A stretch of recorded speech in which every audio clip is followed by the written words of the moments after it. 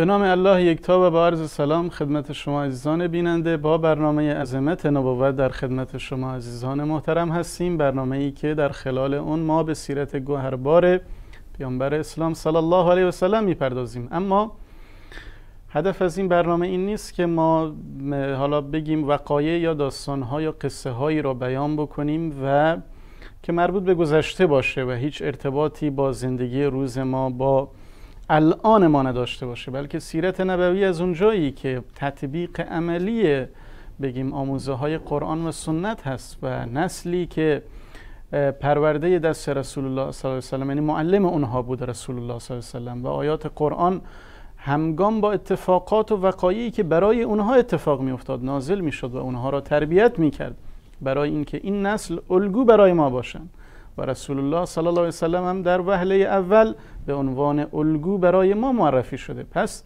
سیرت نبوی بیان اون برای درسگیری و عبرتگیری و اندرزگیری برای این که ما باید بدونیم ایزان که همون وقایع و همون حوادث امروزه برای ما هم تکرار میشن. یعنی همون تاریخ برای ما هم تکرار خواهد شد. جنگ میان حق و باطل میان کفر و ایمان. و میان امت اسلامی و دشمنان این امت همیشه برقرار هست و تا قیام قیامت خواهد بود و اینکه ما چگونه این دین رو منتشر بدیم چگونه اینکه ما این دین رو در زندگی خودمون پیاده بکنیم. همه و همه اینها در سیرت نبوی و در سنت نبوی وجود داره و ما سیرت رو می‌خونیم برای اینکه از اون درس بگیریم. برای اینکه چگونه زندگی بکنیم چگونه بندگی الله بکنیم چگونه این دین رو پیاده بکنیم و چگونه با خطرات و چالش ها مقابله کنیم و این دین رو به دنیا منتشر کنیم. موضوع امروز برنامه ما سیرت نبوی جنگ احزاب جنگی که تجمع همه جانبه لشکر کفر تجمع عظیم و بزرگی که برای مقابله با دولت اسلامی در مدینه هست. اما این تجمع چرا و به چه علت صورت پذیرفت علت و اسباب این جنگ و تدابیر رسول الله صلی الله علیه و سپاه اسلام برای مقابله با این حالا بگیم تجمع بزرگ و درس ها و عبرت هایی که از این غزوه خواهیم گرفت و ما در این برنامه به حول قوه الهی به همه اونها خواهیم پرداخت و عرض سلام داریم خدمت استاد ملایی عزیز و گرامی. خیلی خوش آمدید ممنونم. استاد اسماعیل عزیز بسم الله الرحمن الرحیم إن الحمد لله نحمده ونستعينه ونستغفره ونعوذ بالله من شرور أنفسنا ومن سيئات أعمالنا. من يهده الله فلا مضل له ومن يضلل فلا هادي له. وأشهد أن لا إله إلا الله وحده لا شريك له. وأشهد أن محمدا عبد الله ورسوله. اللهم صل وسلم وزد بارك على سيدنا وحبيبنا وقدوتنا وشفينا يوم القيامة بإذنه. محمد بن عبد الله وعلى آله وصحابته والتابعين ومن تبعهم بإحسان إلى يوم الدين اما بعد همطور که فرمودید آقای اسماعیلی سیرت در واقع علوم اجرایی دین اسلام هست یعنی تطبیق عملی بر اوامر قرآن و سنت بر آموزه های قرآن و سنت. و کسی که به سیرت و زندگانی پیامبر علیه السلام آگاهی و بینش نداشته باشد حکمت و درایت اجرای قوانین الهی را از دست میده. ولذا آنچه که ما امروز در جامعه اسلامی می‌بینیم بین افراد و تفرید عملکرد یا تأثیر و رد فعل چیه؟ بی اطلاعی از مجریات سیرت هست. بله. این که در عهد رسول خدا صلی الله علیه و سلم. وقتی که به کتاب های سیرت مراجعه می‌کنیم ببینیم عدد زیادی از غزوات جنگ ها پشت سر هم ردیف شده در حالی که اصل جنگ نیست در اسلام اصل دعوت مبارزه است تلاش هست برای ابلاغ این رسالت الهی و پیام الهی به مردم بله. هدایت مردم اصله بله. ولی چرا این درگیری ها؟ چون جبهه کفر چه افراد چه دیکتاتورها چه جبه ها چه اشخاص چه مؤسسات و نهادهای دین ضد دینی و الهادی همه اینها دست به دست هم میدن. کم کم در مقابل اسلام در مقابل این پیام آزادی بخش در مقابل این پیام رهایی بخش از همه بردگی ها و قیود بندگی ها چیکار می‌کنن؟ سفارایی می‌کنن. بله. ایستادگی می‌کنن مبارزه می‌کنن به انواع مختلف. بله. و دقیقا هر چی روشنگری رو به بیشتر شود نسبت به اصطلاح جبهگیری و تندروی و تعصبات و اتهام پراکنی بیشتر خواهد شد. بله. تاریخ داره تکرار می شود در دنیای معاصر ما در جهانی هستیم که در این صده آخر مسلمان ها راه بیداری و روشنگری و نهضت جهانی رو آغاز کردند بله. به جای رسید که هزارها کتاب به زبانهای مختلف چاپ و نشر و پخش شد. جوانان مسلمان از الهاد و بیدینی بیرون اومدن متدین شدند قلبا و قالبا اسلام را دوست داشتن. برای اسلام جانفشانی کردن برای اسلام وقت گذاشتن برای اسلام هزینه کردن از زندگیشون از مالشون از خونهشون از کارشون از تلاششون. بله. مطالبه کردن حکومتاشون به اصلاح نظامشون به اصلاح جامعهشون به اصلاح اقتصادشون به اصلاح سیاستشون به اصلاح امور اجتماعیشون. و همین مطالبات باعث شد که جبهگیره ها در جبهه کفر در جبهه الهاد در جبهه شرک بر ضد و ناسیونیست و امثال اینها بر علیه مسلمان ها چی بشه؟ شدت بگیره. بله. اونقدر شدت بگیرد که بعضی از مسلمان ها امروز در دنیای دموکراسی در دنیای آزادی در دنیای مثلا دموکراسی و آزادی خواهی زن حق اختیار ندارد. حق اختیار لباس خودش نداره. زن بله. زن مسلمان حق اختیار لباس خودش را ندارد. مرد مسلمان حق اختیار قیافه خودش را نداره. اگه یه ذره ریشی بلندتر باشه متهم میشه. اگر یه ذره لباسش متغیر باشد از دیگران متهم می‌شود. در حالی که همین انسان ها با نمود فکر دیگر در کشورهای دیگر کاملا آزاد هستند. بله. هر بلایی می‌خوان رو سر خودشون در بیارن و در جامعه انعکاس داشته باشن و در رسانه ها بتونن فعالیت بکنن می‌کنن و هیچ کس هم جلوشون نمی‌گذاره نمی‌گیره بلکه ازشون دفاع هم می‌کنن. بله. به طور رسمی ازشون دفاع می‌کنن به طور ضمنی ازشون دفاع می‌کنن در رسانه ها ازشون دفاع می‌کنن در نشریات ازشون دفاع می‌کنن. نه اینا هم گوشه ای از چی هستن؟ از این جامعه هستن و حق انتخاب و حق آزادی و حق حریت و حق تعبیر دارن. ببینید. این یک بام و دو هوا بودن است که مسلمان ها را به جوش آورده به غیرت آورده تا اینکه از هویت خودشون از شخصیت خودشون از دین و آرمان و عقیده خودشون دفاع کنند به همین خاطر وقتی میگیم که غزوه احزاب پیش میاد اسمی علی مسماست. یعنی در مرحله ای که اسلام داره پیشرفت می‌کنه جبه های مختلف یهودیان از یک طرف مشرکین از یک طرف کفار از یک طرف معاندین از یک طرف منافقین از یک طرف دیگر همه دست به دست همدیگه میدن. باید اینو خفش کنیم. باید اینو ببریم. باید اینو نابود کنیم. بله. یریدون لیطفئوا نور الله بافواههم والله متم نوره ولو کره الکافرون. امکان ندارد. این دین دین ابدی این دنیاست. ابدی این دنیاست. تا قیام قیامت باقی خواهند ماند. به کوری چشم کسانی که نخواهند دید این زیبایی و این درخشانی و این تلعلو و این پیشرفت این دین را. بله. این دین باقی خواهد ماند ولو که یک نفر باشد. ان ابراهیم کان امتا قانتا لله حنیفا ولم یکن من المشرکین. خداوند اگه بخواد دینش رو حفظ کنه با یه نفر حفظ می‌کنه. با یک نفر حفظ می‌کند. ولی به شرطی که اون یک نفر یک نفر باشد. یک مؤمن باشد یک راست قامتی باشه که دین خدا رو شناخته و بر اون اساس داره حرکت می‌کنه. بله و در حقیقت چیزی که شما بهش اشاره فرمودید و سیاست یک بام و دو هوا و اینکه حالا خیلی یهودی ها هستن هم ریش می‌ذارن ریش بلند می‌ذارن. سیکا هم ریش بلند می‌ذارن. نمی‌دونم حتی مسیحیان. حتی مسیحیان کشیش های مسیحی مختلفی هستن. آره اون حالا زن... زنایی که کشیش هستن و اینها هجاب می‌ذارن خیلی هاشون و بالاخره به این مظاهر حالا دینی خودشون مبالات می‌کنن یعنی افتخار می‌کنن با فخر میگن اما یک اما اونها- از اونها ترسیده. ادیان.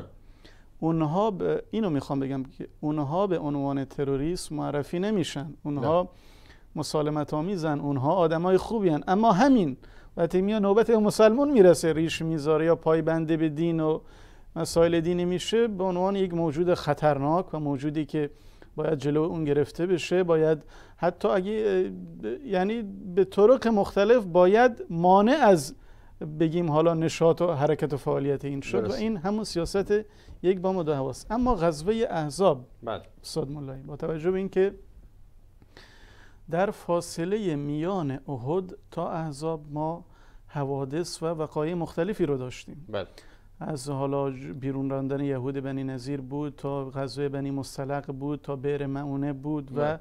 وقایع و حوادثی که پیروزی با مسلمون ها بود یعنی بله. تمام تحرکاتی که می‌خواد بر اساس بر علیه سپاه اسلام انجام بگیره در نطفه خفه می‌شد بله. و مسلمان ها جلو این تحرکات رو می‌گرفتن خود احزاب که به نظر می‌رسه یک تجمع خیلی بزرگ هست برای مقابله با دولت اسلامی و مسلمان ها. چگونه شکل گرفت و چه کسانی بگیم طراح این جنگ بودن یعنی طراحان اصلی که انگار بله. اونگونی سوال که بسیار شما نگاه میشه. خود مشرکین نبودن بله بله نیا کنید یهودیان بنی نظیر وقتی که رانده شدن متفرق شدن به سه جا ایده بله. رفتن به خیبر ایده رفتن به ازرعات شام و ایده دیگر متفرق شدن در فدک و تیما و امثال اینها. قریه ها و آبادی های بین مدینه به طرف شام. بله. اینا آرام ننشستن. اینا به دنبال فتنه بودن. فتنه ای که دقیقا با طراحی یهودیان همونطور که معرخی میگن ابن اسحاق نمی‌دونم بقیه و همه تقریبا روی نظر اتفاق نظر دارند که محرک اصلی محرک اصلی غزوه احزاب یا خندق یهودیان چی بودن؟ رانده شده از مدینه بودن. خب. بله یا بنی نظیر بنی نظیر که اینها رفتن به هر حال خیبری ها را قانع کردند اونایی که در جای دیگه بودن قانع کردند. و ترس این را داشتن و این ترس هم واقعی بود که اینکه اگر مسلمان نشدند اسلام به سراغ اونها هم خواهد آمد. چون بنی مصطلق شکست خوردن. و با بله. شکستشون از نزدیک اسلام را خوب شناختند اون سماحت و گذشت و ایثار و برادری و برابری اسلام را حس کردن همه مسلمان شدن. در واقع دست مشرکین اینجا بسته شد از اون منطقه مریسی منطقه حساس و استراتژی بین شاهراهای اساسی مکه به طرف شام. از اون منطقه عبور می‌کردن. بله.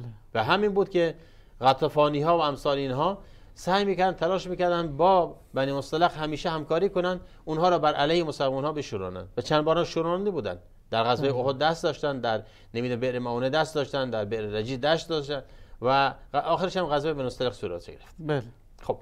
اینجا بود که یهودین آروم ننشستن اومدن مشاورات و مناورات و امثال اینهای صورت می‌دادن.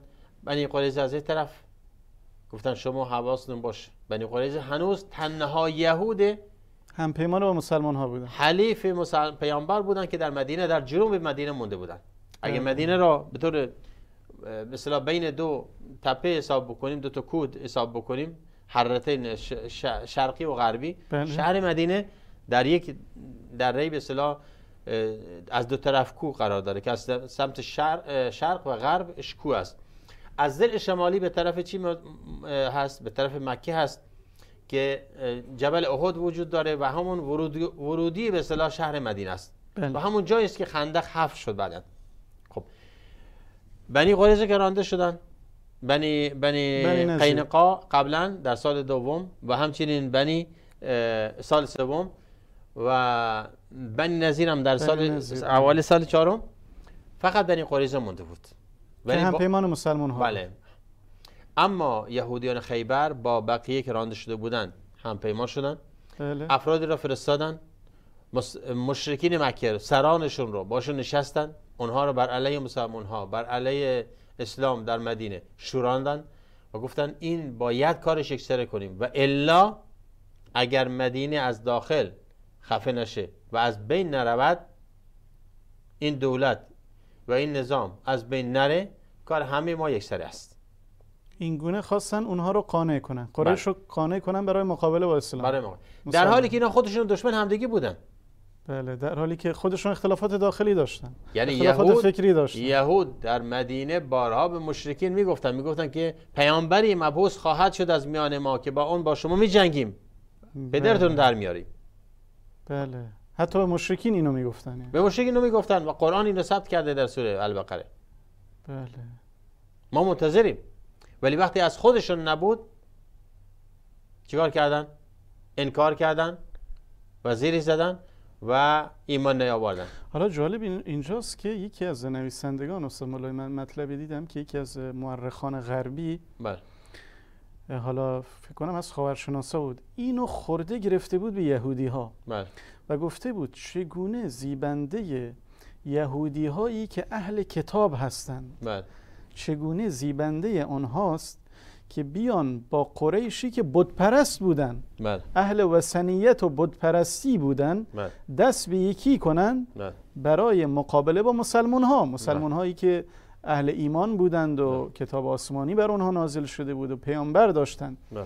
چرا یهود در این موقعیت حالا یهود بنی نظیر با اینکه به قول شما اختلاف فکری داشتند و اختلاف عمیقی داشتند با قریش بله. اومدن با آنها دست به یکی شدن. ما در حال حاضر خودمون از اون واقعه به حال حاضر خودمون به کجا می‌رسیم؟ چه برداشتی می‌کنیم؟ بله. من این آیه را آیه 89 همونطور که اشاره کردم ترجمه اون قرآن میفرماید ولما جاءهم کتاب من عند الله مصدق لما معهم وكانوا من قبل يستفتحون على الذين كفروا فلما جاءهم ما عرفوا كفروا به. کفرو فلعنت الله على الكافرين. بئس ما اشتروا به انفسهم این مقوله این آیه در سوره بقره آیه 89 هست که خداوند عتاب می‌کنه بر اهل کتاب که الله سبحانه و تعالی کتابی رو نازل کرد در میان اونها که تصدیق کننده اون چیزی بود توراتی بود و انجیلی بود که نزدشون بود. بله. ولی وقتی که و می‌دونستن و اینو هم می‌دونستم آه طلب فتح و نصرت ولم و کانوا من قبل یستفتحون علی الذین کفروا. یعنی می‌گفتن ما پیروز میشیم بر علیه شما. بر علیه شما. ما بر علیه شما خواهیم تاخت. بله. ما اهل حقیم. ما اهل نصرتیم. خداوند ما را نصرت میده. پس چرا زیر این زد آه فلما جاءهم ما عرفوا کفروا. به. کفرو شناختند ولی این شناختشون فقط در حد شناخت فهمیدم که این پیامبر هست ولی از خودشون نبود. بله. به همین خاطر یهود همیشه نجاتگرا بوده و هست. نجات پرستی در نجات پرستی در خون و رگش هست خوی یهوده. در خون و رگشه. بله. تا به امروز. و این سر عدم پیشرفتش در دنیاست. ما ملت برتر دنیاییم و همه ملت ها اومدن که خدمت ما را بکنن همه باید برده ما باشن و ما باید بر بشریت حکم خب. برانیم اینا این آمدن عقیده فتنه کردن. یهود تا حالا بله. این سوال آخره که من می‌خواستم روش تاثیر بذارم که چه شد چه مصالح مشترکی بود که اینا دست به دست هم دادن. ولی مشکل نیست که اول مطرح کنیم. بله. خب. نگاه کنید بین ملل کفر مصالح مشترکی وجود داره. علا رقم اختلافات. حفظ بقا. بله. حفظ بقا. اونا می‌خوان باشن. علا رقم تمامی اختلافاتی با تمام اختلافاتی که وجود داره بین اینها یهود می‌خواد باشه مشرکین هم می‌خوان باشن. و سر این هدف با هم جمع و میشه می‌خوان بر دین و عقیده و آرمان و روش خودشون باشن. در حالی که اسلام می‌خواد نه. اسلام کاری به وجودشون نداره. می‌خواد باشید. شما ای حیث انسانتون باشید. از حیث تجارتتون باشید. حیث سیاستتون باشید. اما جلو ام- آزادی دیگران رو آه جلو آزادی فکر را بذارید مردم آزاد باشن. بله. به همین خاطر برای مستلق را تا مسلمان شدن سر جای خودشون بگ- برید. نخل آبادی و چاها و دامداری و کشاورزی و تجارت خودتون زندگی و فعالیت خودتون. ادامه بدید. اسلام کسی از شما اینا چی نمی‌خواد؟ حتی حتی اینو به شما حتی بزرگ خودتون از خودتون است. همون حارس همون حارس که تا دیروز دشمن اسلام بود ابن عبدالدرار رئیس قبیله بن مصطلق بعضی مسلمان شد خودش شد دوباره رئیس قبیله. بله. هیچ تعرضی به شخصیتش نشد. اون مکانت و جایگاهش حفظ شد. از اموالی. که از فقر از اغنیایشون از ثروتمندانشون به عنوان به عنوان زکات گرفته میشه. کجا توزیع میشه؟ ترد الى فقرائهم. به همون فقرای خودشون دوباره هزینه میشه. بله. اسلام چیزی نمی‌خواد. جز عدالت. بله. جز انسانیت. ولی بحث اینجا بود که اینو درک نکرده بودن. تا این حد درک نکرده بودن که اسلام یعنی این. خیال می‌کنن اسلام اومده که اونها از بین ببرد. با این خیال ها با این هوی حفظ به عنصریت برای موندن خودشون. برای بقای خودشون برای حفظ بقا اومدن دست به دست هم دادن. و دشمن تراشی کردن. همینطور که دقیقا دقیقا دقیقا در دنیای امروز داره امروز قدرت های بزرگ اهرام های سنگین جامعه بشری امروز دارن چیکار می‌کنن؟ دارن تزویر می‌کنن اسلام را اسلام را دروغین به ملت های ضعیف چیکار می‌کنن؟ تلقین می‌کنن تزویر می‌کنن که اسلام اینه. اگر با ما نیومدید یعنی با کسانی رفتید که دشمن ما هستن. می‌خوان ما رو نابود کنن. بله. اگر مسلمانان می‌خواستن دولت ها رو از بین ببرن امروز میلیون ها مسلمان در کشور اروپا و آمریکا و غیر ذالک خدمت نمی‌کردن به جامعه بشریت. در منابع علمی در منابع تکنولوژی در منابع اقتصادی دنیا دست مسلمان ها دست اول هست. دارن کار می‌کنن تلاش می‌کنن زحمت می‌کشن. بله. پس در واقع یکی از اهداف مشترکی که مشرکین و یهود رو در کنار هم جا- در حقیقت یهود طراحان اصلی غزوه احزاب غزوه احزاب بودن. یهود بنی نظیر ولی متاسفانه اهداف مشرک- مشترک با مشرکین اینها را با هم جمع کرد. جمع کرد. اینها قانع کردن مشرکین رو. بله. یهود بنی قریظه استاد مولا که تا بله. الان هم پیمان مسلمان ها بودن. آیا اونها هم وارد این جریان شدن؟ در ابتدا نه. در ابتدا نه. حتی در آخرین لحظات جنگ هم وارد نشدن. تا آخرین لحظات آخرین لحظات با سماجت و اصرار زیاد فرستاده های یهودی بسیار محنک سیاسی بله. چیکار کردن؟ وارد نشدن. در آخرین لحظات وارد شدن. در آخرین لحظه آخرین لحظات. اون زمانی که الان دیگه ج... تمام احزاب و گروه ها آمده بودن اطراف خندق درگیری ها شروع شده بود. نمی‌دونم جنگ ها صورت گرفته بود. چند نفر کشته شده بودن. احتمال این می‌دادن یک زعزعه یک ولوله یک به اصطلاح دل هره در میان مردم وجود داشت. قرآن از اون تعریف می‌کند.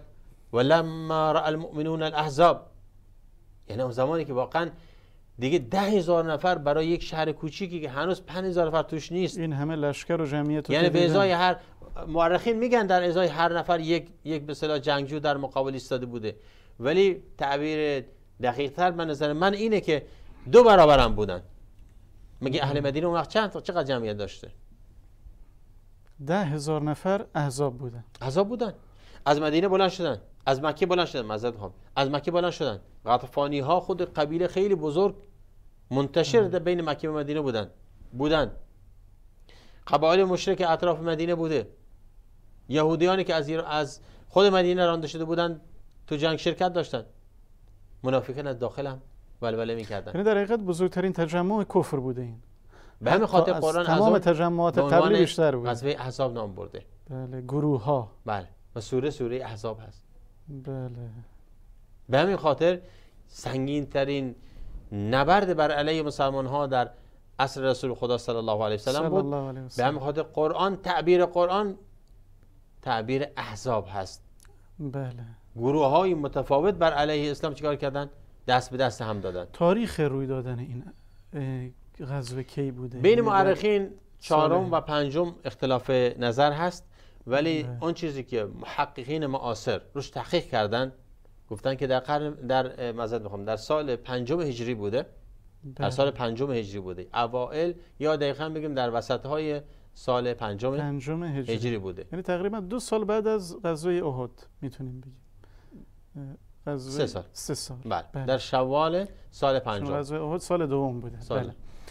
اما عکس العمل رسول الله صلی الله علیه و سلم در سال سوم بود. سال سوم بوده. سوم. بله دو سال. دو سال. بله.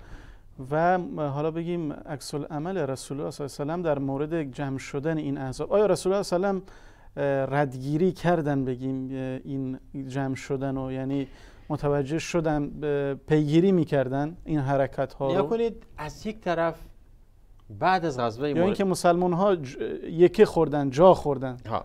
از یک طرف حقیقت این بود که بعد از غزوه مریسی در ذوالقعده سال چهارم بله. یک جو نسبتا امنی بر شبه جزیره حاکم شد. بله. به آن حدی که کسی تصور نمی که به همون زودی دوباره جنگی رخ بدهد. تصور جنگ نمی‌رفت یک قبیله کامل 700 نفر مسلمان شدن در خارج شهر مدینه. اونها خودشون یک حامی بر اسلام هستن. در ضمن چون تازه مسلمانان به فکر جنگ و نشر و دعوت و اختلاف و نمی‌دونم کشمکش و درگیری نبودن. درگیری با دیگران نبودن. بله. ولی خواستن که هم این طرف داشته باشن هم اون طرف داشته باشن. با اینکه مسلمان شده بودن. شما در بله. نظر بگید یک شخصی از یک خانواده میاد مسلمان میشه. آیا پدر و مادر و خیش و جماعتش از دست میده؟ نه. سعی می‌کنه طوری عمل بکنه که چیکار کنه؟ هم اینا رو داشته باشه هم دوستای مسلمان تازه مسلمان شد که باشون آشنا شده مسلمان ها رو داشته باشه. بنابراین حکیمان اینه که هر دو طرف قضیه رو درست بگیره تا اینکه چیکار کنه؟ به ضررش تموم نشه. بله و چه بسا با این اخلاقش بتونه رو خانوادهش خب، تاثیر بذاره. اونا رو دقیقا. همین کاری بود که مرایسی انجام داده بودن. و این باعث یک توازن خیلی خوبی در مجتمع مثلا شبه جزیره شده بود. ولی با این حال پیامبر صلی الله علیه و سلم وسلم با حکمت و درایتش همیشه از احوال اوضاع منطقه با خبر می‌شد و بله. بیخبر نبود. و می‌دونست که یهودیان دست خالی نخواهند نشست. بله. بیکار نخواهند نشست. ولی چون دیگه شروع شده بود اینجا بود که پیامبر علیه السلام صلی الله علیه وسلم بزرگان صحابه را جمع کرد. مثل هر مورد دیگر یک به اصطلاح مجلس عالی مشورتی. مشورتی برای داد. جنگ تشکیل داد مثل شورای امنیت ملی. بله. در این حدود. باید چیکار کرد؟ همونطور که در غزوه احد قبلا مشورت کرده بود. در غزوه بعد مشورت هم کرده بود. مشورت کرده بود. بله. در غزوات مهم و حساس مشورت می‌کرد. بله. اما جایی که می‌رفتن اونجا دیگه دستور اعزام بود چیز دیگه بود. اما در غزوه بدر و احد مشورت کردن مجلس مشاورتی رو انداختن. بله. اینجا هم همینطور مشورت کردن و مشورت بر این بود که چون عدد احزاب زیاد هست و دارن نزدیک میشن و دارن محاصره می‌کنن مدینه رو باید کار باید از داخل این بار باید از داخل چیکار کنیم؟ شهر مدینه رو کنترل کنیم. چه کار کنیم؟ حالا باید چیکار کرد؟ اینجا بود که سلمان فارسی رضی الله تعالی عنه یک صحابی پیشکسوت در مثلا دنیا دیده. بله. پیشنهاد حفر خندق را داد. خندق گدول هایی که به عرض 3 4 متر دیگه شتران و اسب ها نمی‌تونن از بالای آن بپرن بپرن و به خاطر عمقی که دارد هم نمی‌تونن چیکار کنن از داخل اون عبور کنن. مگر اینکه اون را چیکار کنن؟ پر کنن. پرش برای پر کردنش هم این فرصت براشون ایجاد نمیشه چون مسلمان ها در سمت دیگر کمین کردن پشت سنگرهاشون. و و اجازه هر, بهشون نمیدن. هر حرکتی که مشکوک به نظر برسد برای خندق با تیر چیکار می‌کنن؟ اونها را به رگبار میبندن. بله اگه موافقت میان برنامه آماده هست ببینیم و در خدمتتون خواهیم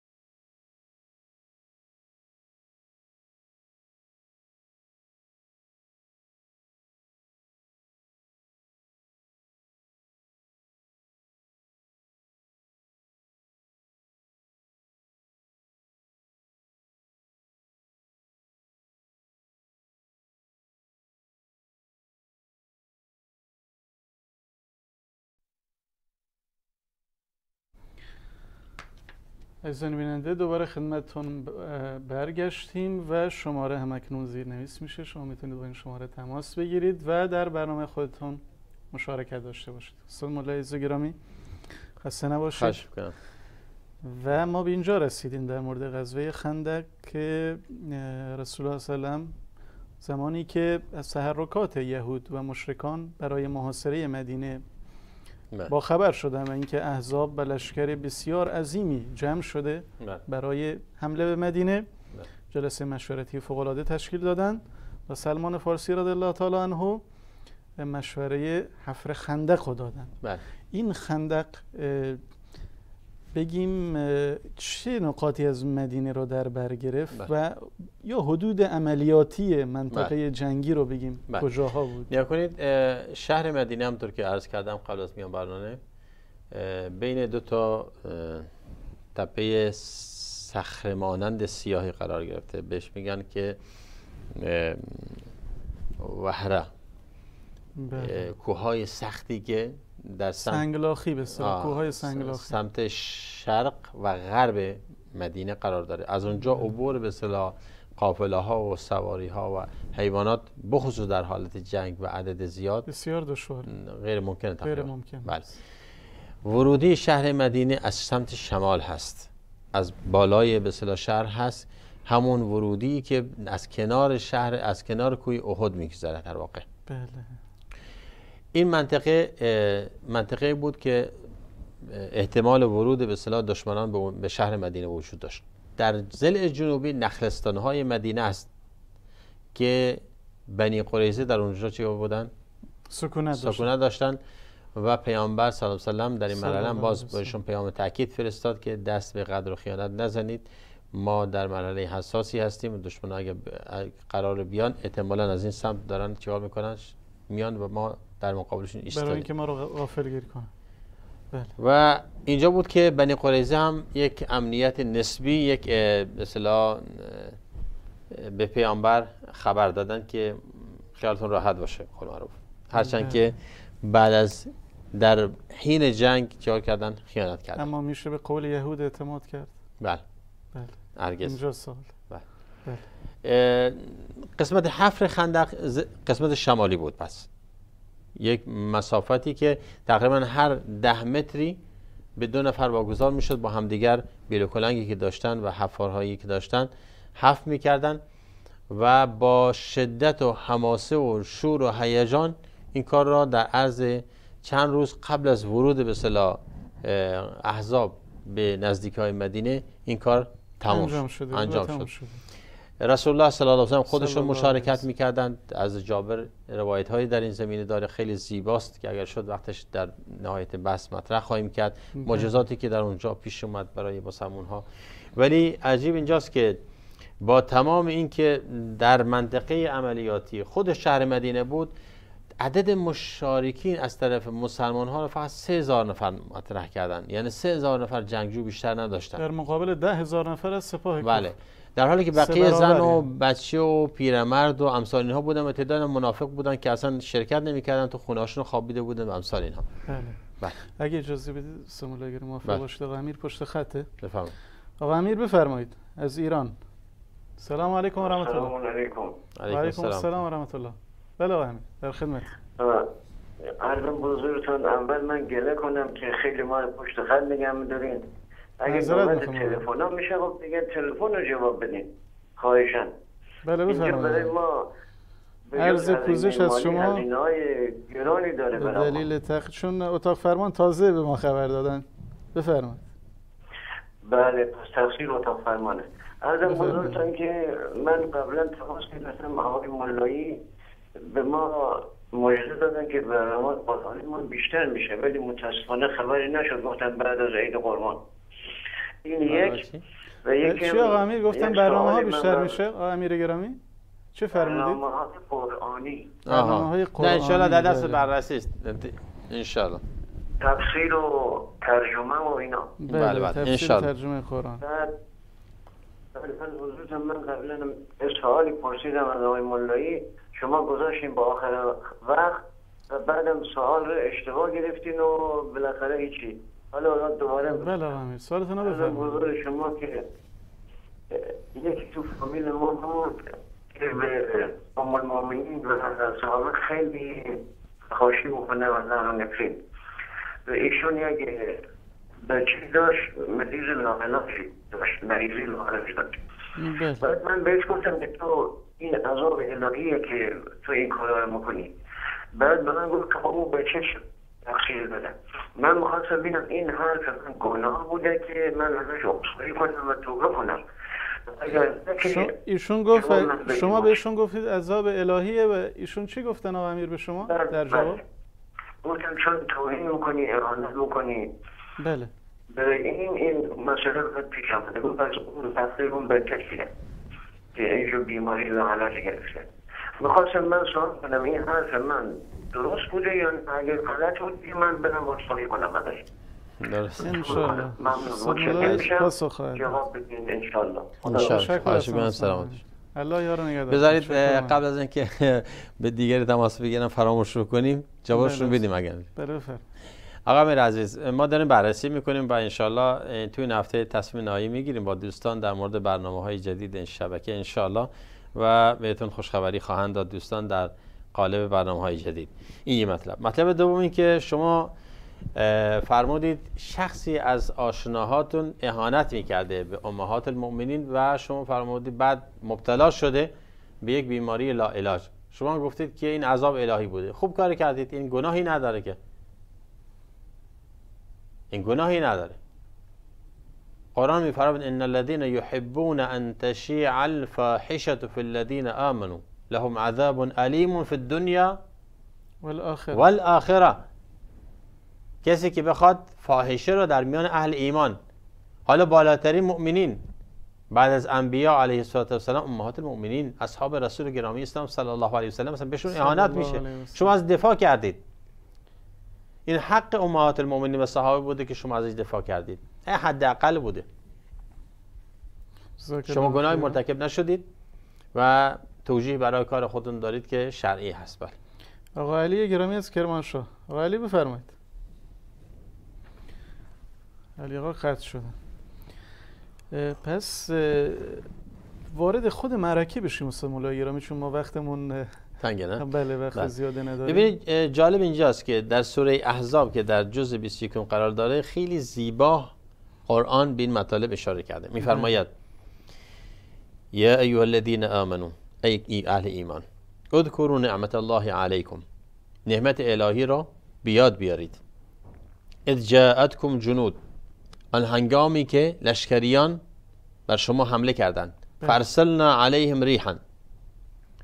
پس ما بر علیه آنها بادی را فرستادیم و جنودن و لشکریانی را فرستادیم. لم تروها که آنها را نمی‌دیدید و کان الله بما تعملون بصیرا. الله سبحانه و تعالی به هر آنچه که شما کردید بینا. بود بله. آگاهی داشت. اذ جاءوكم من فوقكم ومن اسفل منكم وزاغت الابصار وبلغت القلوب الحناجر وتظنون بالله الظنون. هنالك ابتلي المؤمنون وزلزلوا زلزالا شديدا زلزال شدید البته این آیات باز ادامه داره همین آیه رو لطفی کنید بله. ترجمهش بکنید الان همین من می‌خوام مختصرش بگم. بله. الله سبحانه تعالی میفرماید از بالای سر شما یعنی از پیش رویتان بله. و از پشت سرتان به شما شبیه خون زدن حمله کردن آمدن شما رو در محاصره در واقع قرار دادن.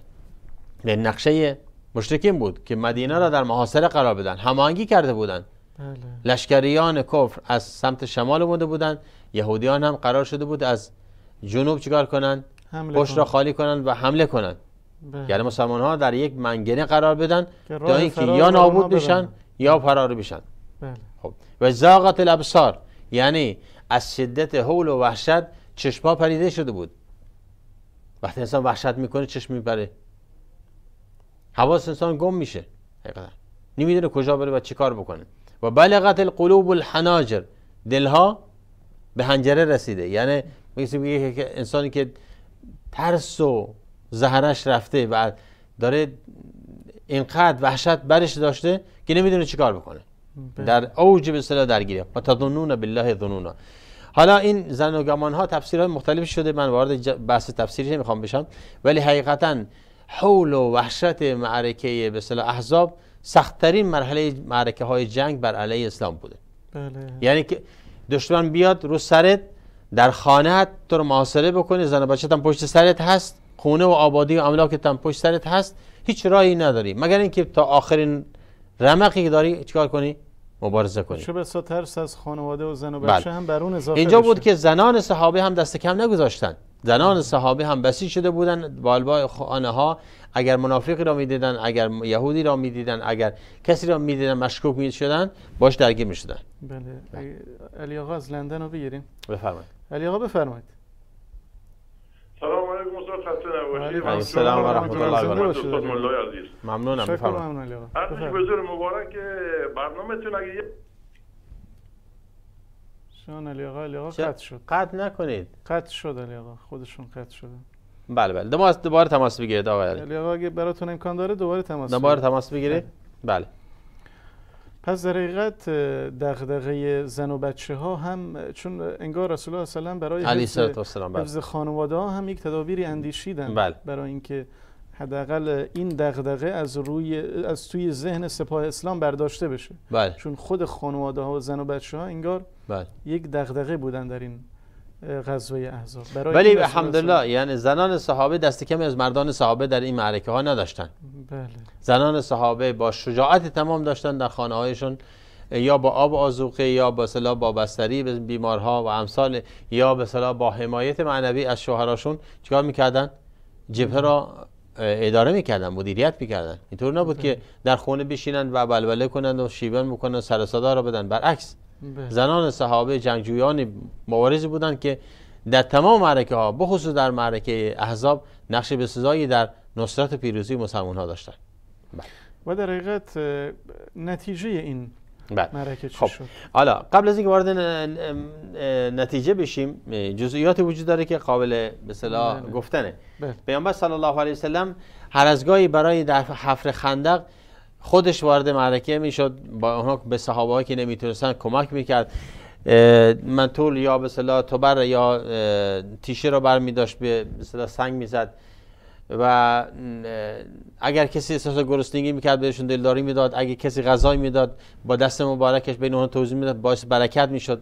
شده که صحابی یک مشت خیلی کمی مثلا خرمای خوش در خونه داشته آورده مثلا به تعدادی از صحابه بده به ما گفته بده به من. گفته یا رسول الله این خیلی کمه نمیشه به همه برسه. میگه بریز تو دامن من. میریخته دامن پیامبر تمام صحابه می اومدن یکی یکی برمی داشتن دو تا دو تا برمی داشتن به همه رسیده. یعنی تا این حد یا جابر میفرماید یک بزغاله کوچیکی در منزل نگه داشته بودیم اون را چیکار کردیم؟ زب کردیم گفتیم اینا بپس امروز یه آشی درست کنیم بدیم صحابه چند روز از گرسنگی و خستگی دارن هیچی نخوردن. خلاصه دیگه کوچیک خورش خورش درست کرده بودیم آبگوش درست کرده بودیم آورده بودیم که پیامبر رو دعوت کنیم پیامبر گفت نه خیر همه رو دعوت کنید. گفتم یا رسول الله ما رو شرمنده می‌کنی. این چی نیست به کسی نمی‌رسه. گفت نه خیر. پیامبر صلی دست مبارکش گذاشته بود در کنار اون ظرف همه رو برداشتن همه سیر شدن. نیا کنید این حقیقت یک سری معجزات هم در این غزوه رخ داد. رخ داده و نشانه این است که رسول الله علیه الصلاه و السلام. برکت همراهش بوده. در مسائل مختلفی هست و بخصوص در غزوه احزاب. اونجا بود که پس مشارکت رسول الله صلی الله علیه وسلم والسلام. در حفر خندق یکی از نکات بارز این غزوه هست. بله. و صحابه این را حس می‌کردن و در کنار رسول الله هم از پیامبر مدح و به تشکر می‌کردن. اللهم لولا انت مهتدینا ولا تصدقنا ولا صلینا فانزلا سکینه علینا و ثبت اقدام ان لاقینا. بله. صحابه پاسخ می‌دادن نحن الذين بايعوا محمدا على الجهاد ما بقینا ابدا. پیامبر برای اونها در قالب شعر دعا می‌کرد. دعا می‌کرد هم بهشون روحیه بده با حماسه با شجاعت با افتخار این کارشون رو انجام بدن و نیت احتساب بکنن. یعنی نیت احتساب این که انسان خستگی تلاشی که بر دوشش هست بر بدنش هست رو به خاطر خداوند حس بکنه. و فراموش کند. اون رو بذاره به حساب خدا. بعضی وقتا از انسان در یک مسیری در یک کاری در یک تلاشی احساس خستگی می‌کنه و دوست داره خلاص یه گوشه بشینه برای خودش خلوت کنه. میگه نه خیر. اجر در همین است که راه تو ادامه بدی و احساس کنی که داری اجر داری می‌بری. و رسول الله علیه الصلاه و السلام وقتی اینها را برای صحابه میخون از صحابه این چنین پاسخ میشنید. نحن الذين بايعوا محمدا. علی الجهاد ما بقینا ابدا ما کسانی ما هستیم کسانی که با محمد بیعت کردیم تا آخرین لحظه بر جهاد خواهیم خواهیم بود. علی آقا دوباره تماس گرفتن بله بفرمایید. علی آقا. بفرمایید الو سلام خسته و علیکم السلام سلام، زنده باشید علیکم بله. السلام و رحمت الله زنده باشید یه. سوال. داشتم بله. پیغمبر خدا صلی الله علیه و سلم وقتی از مکه به سوی مدینه رفت بله یه تو و یه راهنما با باهاش کرد گفت. بله. وقتی که با حضرت ابو بکر رضی الله عنه رفتن اون شطور و راهنما جا رفتن. بله علی آقا آخر سوالتون رو متوجه نشدم اگه لطف کنید دوباره. میگم حضرت محمد صلی الله علیه و سلم توی. مدینه رفت از مکه راهنما و شطور باهاش داشت. خب با حضرت ابو بکر رضی الله وقتی توی قار بودن شطور و راهنما کجا رفتن؟ بله بله درست. آقا علی نیا بله. کنید. بله درسته. سوالتون درسته. رسول الله علیه السلام. با حضرت ابوبکر شبانه از مکه بیرون رفتن رفتن دو روز در غار موندن. شترانشون را به راهنما در خود مکه سپرده الان؟ شخصی به نام عبدالله ابن اریقط. دیلی بود. بله. باش اتفاق کرده بودن. مشرک هم بود. باش اتفاق این شطور ما رو بگیر.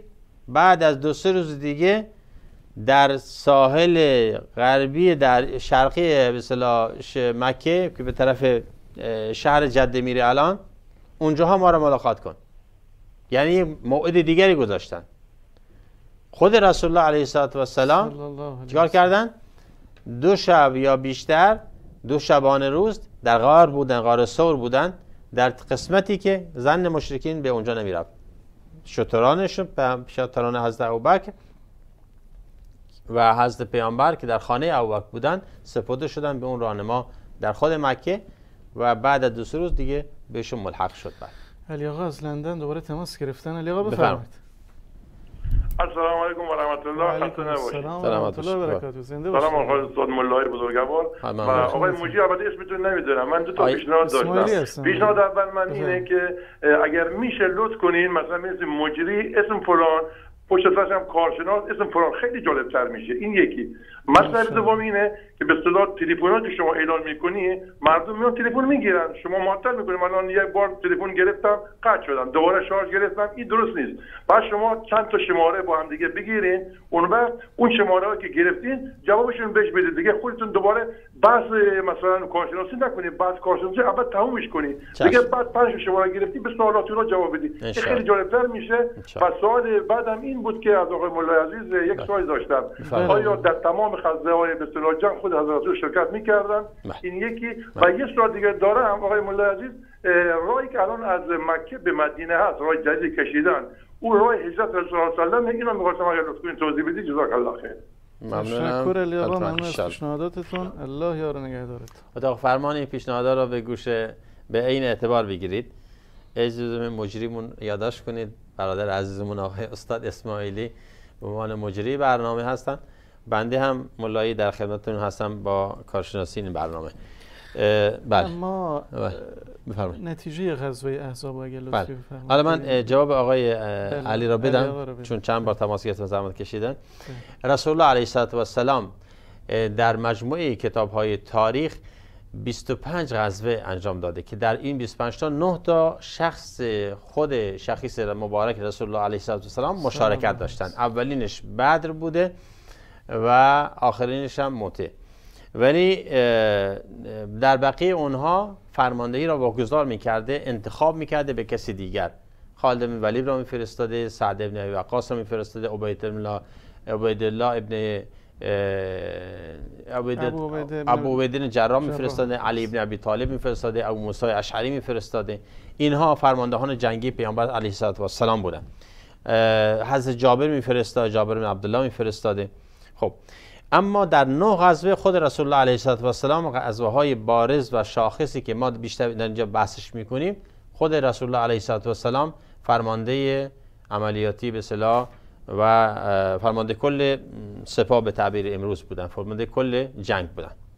بله. اما راه جدید با راه هجرت نه کاملا متفاوت است. راه هجرت اونطور که مورخین میگن راه کاملا منحنی در حدود 15 روز طول کشیده بین هجرت خروج پیامبر صلی الله علیه و سلم از مکه تا رسیدنش به مدینه 15 روز طول کشیده. بله. و رای بوده که از کنار حاشیه دریا رد می شده از کنار جده رد می شده از بیابانهای که کم عبور بوده یا حتی عبور کسی نمی‌کرد. به همین خاطر راهنما گرفته بودن. اسمش عبدالله ابن اریقد دیلی بود.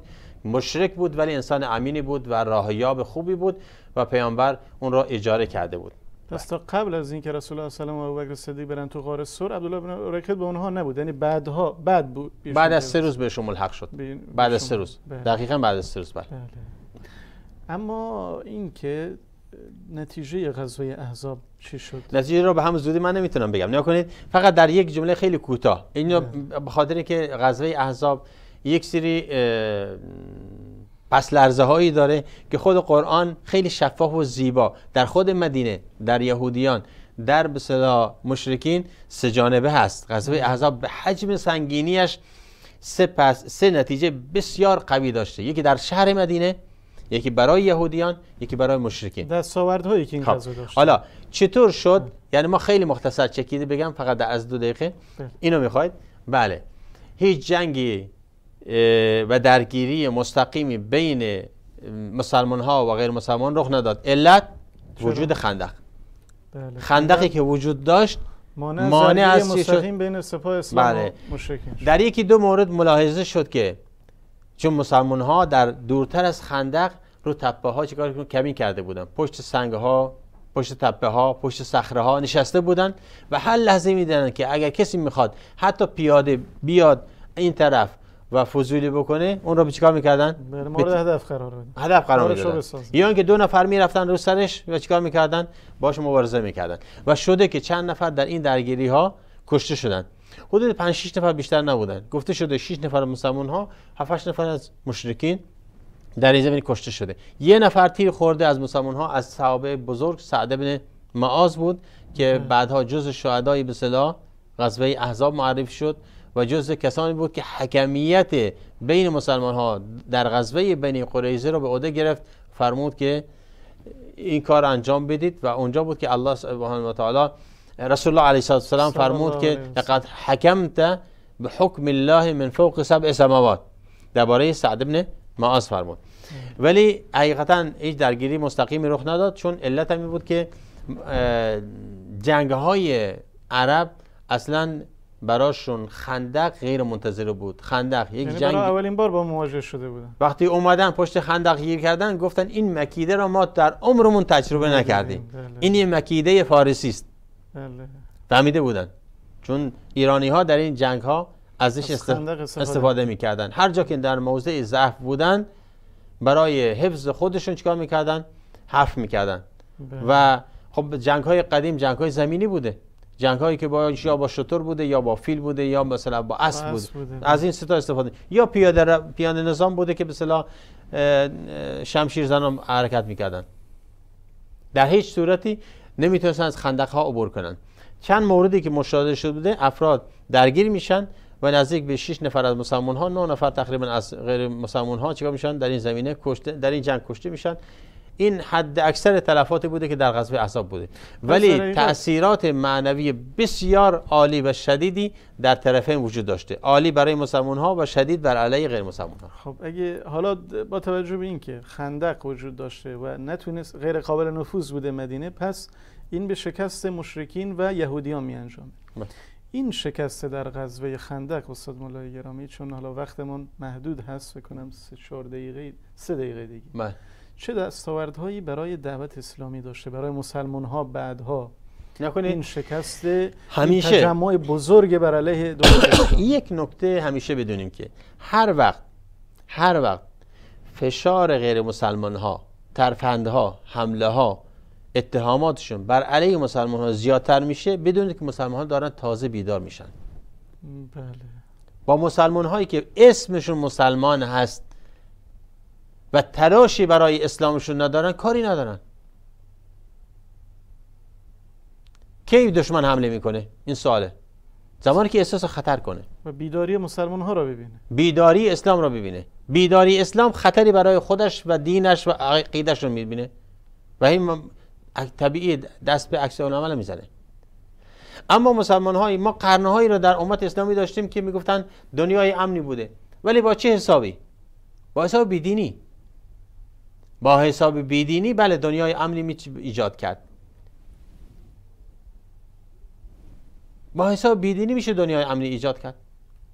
مسلمان شرابخوار قمارباز زناکار دست به هر کاری می‌زنه نه اهل نماز هست نه اهل قبله هست نه اهل زکات هست نه اهل خیرات هست نه اهل حج و عمره هست. کسی هم باش کاری نداره. نه اهل قرآن هست نه اهل مسجد هست.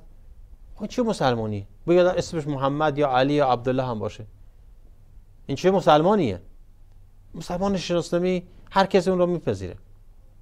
ولی مسلمانی که به مسجد می‌رود مسلمانی که صدقه میده مسلمانی که به عمره و حج می‌رود مسلمانی که دستش به فقرا در مثلا برای فقرا انفاق بذل بخشش می‌کنه. مسلمانی که داره خیرات می‌کنه مسلمانی که داره به حس جامعه به تلاش می‌کنه مرکز تحفیظ درست می‌کنه در اینجا مسجدی می‌سازد در اونجا مثلا مرکز بنابراین اینها رو نمی‌خوان. احزاب به ما در این درس می‌دهد که زمانی که دشمنان اسلام احساس کردن که اسلام براشون خطر داره بر علیه چیکار کردن؟